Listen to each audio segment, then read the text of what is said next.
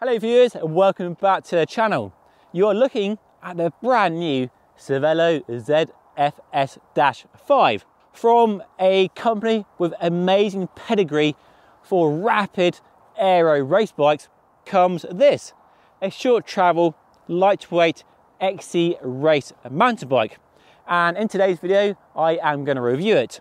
We'll talk about the climbing performance, descending capabilities, the equipment highlights, and share my likes and dislikes after riding and living with the bike for the last two months. Now, a lot is at stake here for Cervelo, and they're really putting their reputation on the line by adding a mountain bike to their range.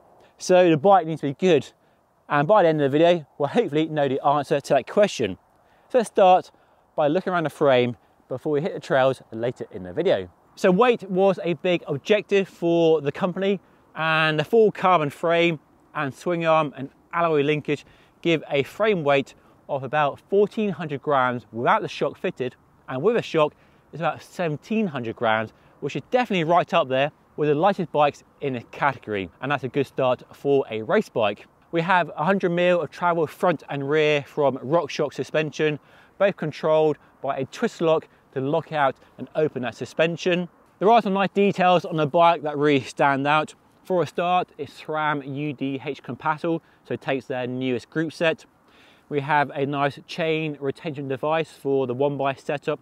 We have a threaded bottom bracket, space in the main frame for two water bottles, clearance for 2.4 inch wide tires. You can fit a dropper seat post, it will take one. But on the downside, we have internal routing for both the rear brake hose and the cable for the rear shock lockout. So perhaps a small uh, thumbs down for that. But that's the way many bikes are going. But let me know your thoughts by leaving a comment down below. Now let's talk about price and it's not a cheap bike at all. The bike in front of you is the top of the range model and has a top of the range price as well.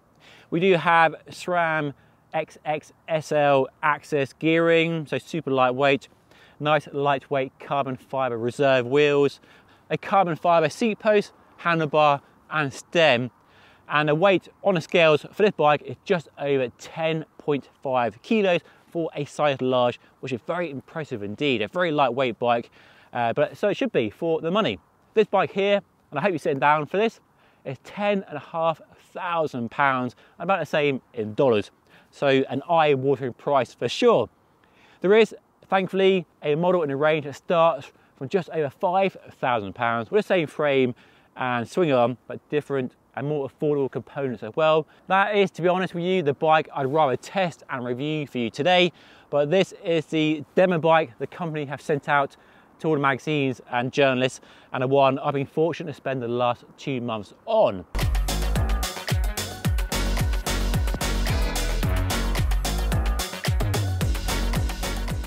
Now let's talk geometry, which is a really interesting topic for mountain bikes these days.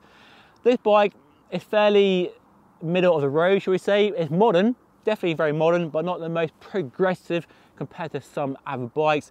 But I think the numbers really hit a sweet spot of a nice balance that gives a bike that's capable going up, down, across, fits me well at 181 centimeters tall. Yes, there are bikes that will embarrass the Cervelo in terms of progressive geometry, but I think for lots of people, buying a bike like this for fast riding and definitely racing, the numbers work really well.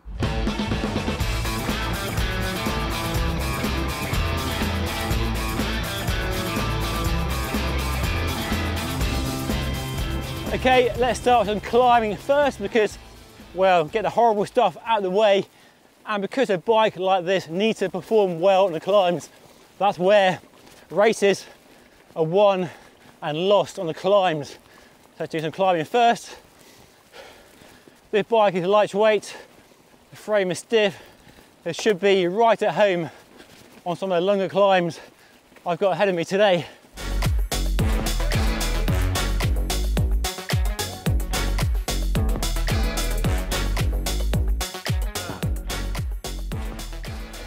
Oh my goodness me.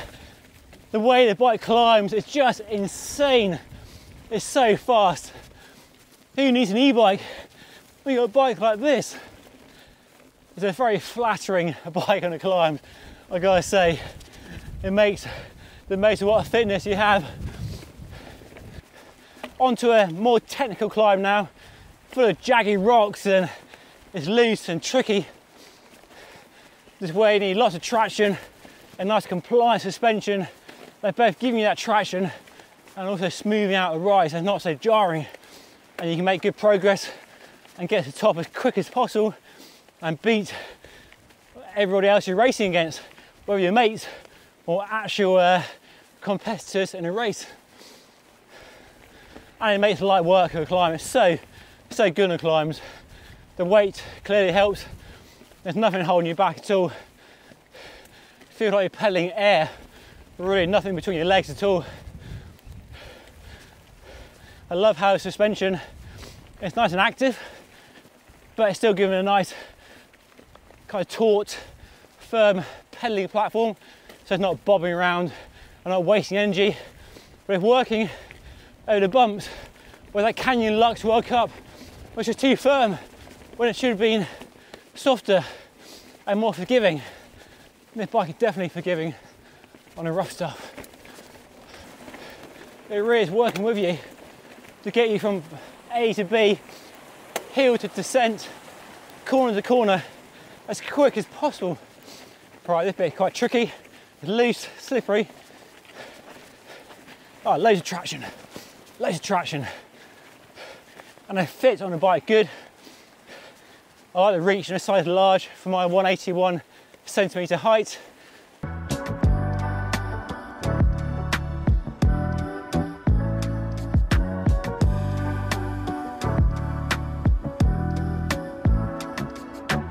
This Cervelo is definitely one of the, the fastest climbing XC race mountain bikes I've ridden in a long time, possibly ever. Right up there, the Canyon Lux World Cup.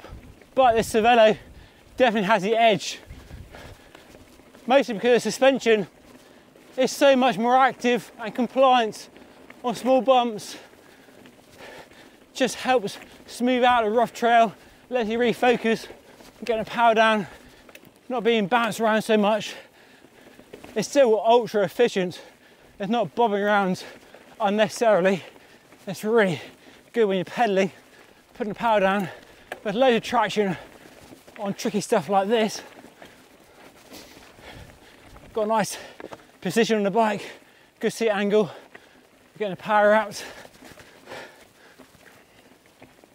Good balance as well, and composure through rocky, tricky sections. So climbing performance is fantastic. It really is very, very good indeed. Just everything you want from a fast, rapid climbing XC race bike. So marks out of 10, well, it's a solid nine out of 10. Very impressed indeed. But now time to go downhill and see how the bike descends because we are seeing World Cup XC race courses becoming more and more technical and regular riders pushing their bikes ever harder and faster on a rougher terrain and demanding more from their bikes. So let's see if the bike also excels on the way back down.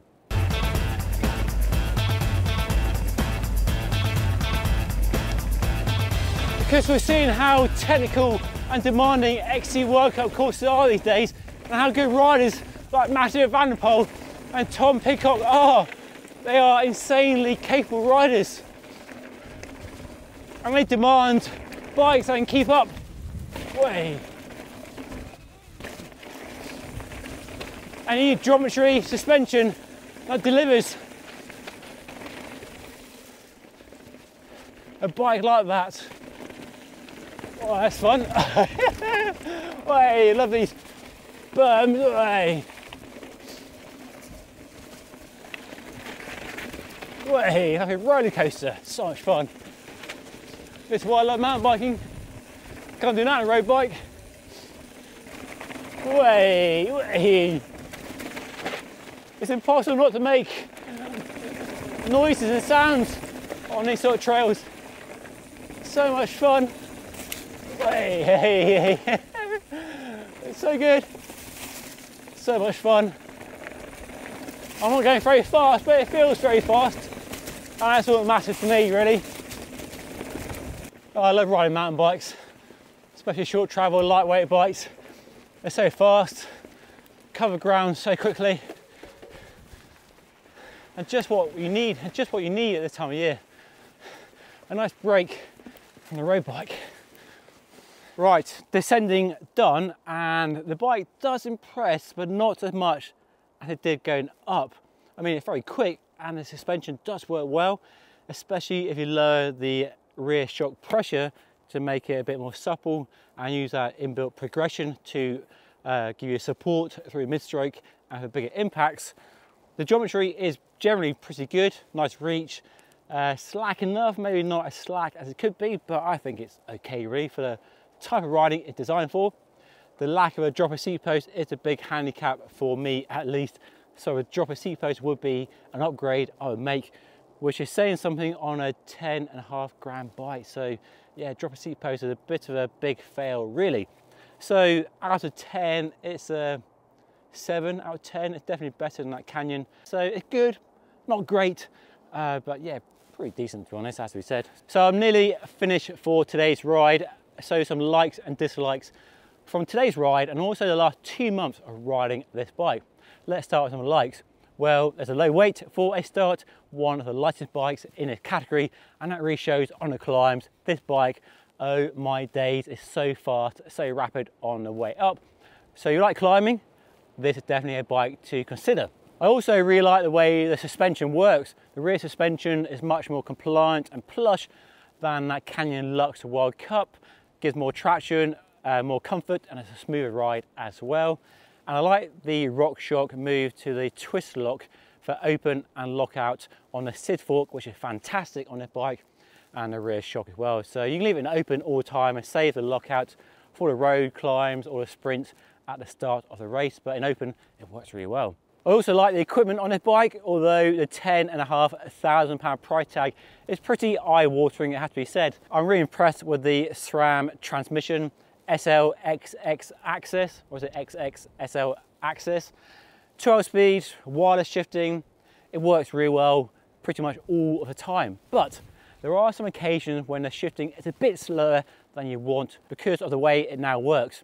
The rear mech waits for the cassette to be in the optimum position to shift and what it does is lightning quick and makes no noise at all. Sometimes, occasionally, there are situations when a shift is a bit delayed and while for general trail riding that's okay, you can live with it, if you're racing, it could be a make or break thing. So not quite as rapid as the old AXS was. Uh, lightweight wheels from Reserve, very fast rolling tyres as well, but some dislikes as well.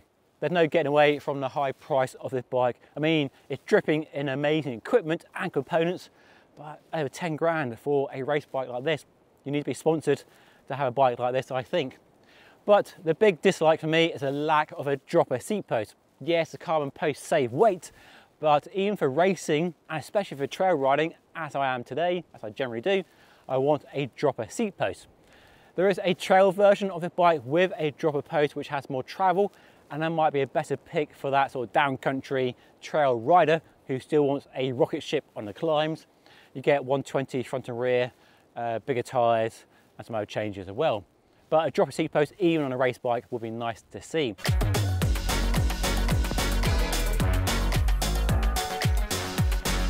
But generally a very impressive bike. So lots of likes, a few dislikes, amazing performance, eye-watering price, uh, but I can definitely recommend this bike if you have the budget or you are sponsored and you are going racing.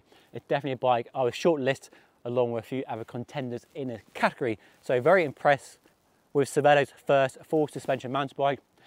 I think it's a punt that has paid off.